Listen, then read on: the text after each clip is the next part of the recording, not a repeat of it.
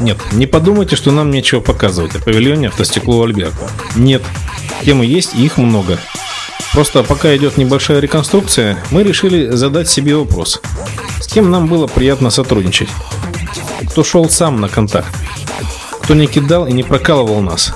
И в конце концов, кто понял, что из средств массовой информации самым убойным и эффективным является то, чей принцип лучше один раз увидеть, чем сто услышать или тысячу прочитать.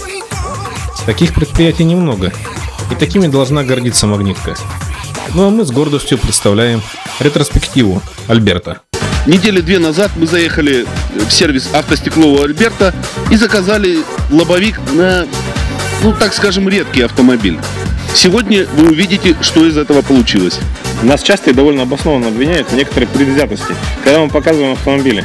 Ну, потому что в автомобиле заказчика и говорить о недостатках мы не можем, ну, все-таки вы понимаете, автостоп не независимая передача, как Топ Гир, например. Но хотя о своих автомобилях мы можем говорить.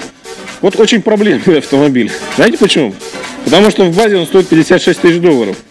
А машина, которая стоит 56 тысяч долларов, на нее и запчасти стоят тоже, мама, не горюй. Поэтому прежде чем что-то покупать спортивное, дорогое, головой думайте. А то получится, как у Лехи, ну, на бабки попал. А список улучшений этого Ниссана.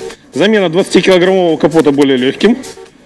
Предстоит э, замена крыльев, потому что количество штукатурки здесь тоже, мама не горы.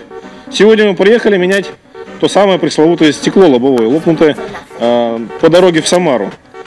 Машина 93 -го года выпуска. Но у Альберта работают специалисты. Как они замучаются и что из этого выйдет, практически в реал-тайме. Смотрите автостоп. Ядренок корень. Спустилась благодать небесная в облике трех ангелов установочного бокса автостекло у Альберта на многострадального реактивного японца. Прозрение наступает и в прямом, и в переносном смысле. Факт. Даже для редкого Ская стекло нашлось быстро и недорого. Даже японцы подвержены коррозии, так что не испытывайте иллюзии, а испытайте антикоры грунтовку. И прекратите заклеивать трещины. Замена – вот кардинальное и доступное решение. Помните первый сюжет с микрой и рекламный ролик с расстрелом двенашки? Все то же самое. И вид оттуда же, и скорость та же. То, что раньше было ужасной проблемой, на деле таковой не оказалось. И в долговечности, и в прочности сомневаться тоже не приходится. Материалы не хухры-мухры. Все фирменное и качественное. И проверенное лично.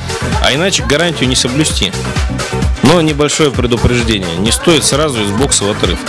Так же, как не стоит, накрасив ногти, рвать готовить салат. Лак и клей должен просохнуть. И на мойку под высокий напор не надо в первые два дня. А затем все удовольствия, включая одновременное захлопывание всех дверей, а в случае с хэтчбеком и универсалом крышки багажника. Вот так мы развеяли миф о недоступности автомобильных стекол. У Альберта есть все. А что мне стоит сказать? Ну, молодцы. Ну как, хорошо меня видно? Вот это меня больше всего и радует. Теперь мне не придется ходить вокруг Скайлайна и высматривать. Внутри Алексей или куда-то ушел. Кстати, если вам вдруг захочется заказать вечерком автостекло у Альберта, то в 9 часов утра следующего дня вы уже спокойно можете его получить. Новенькое.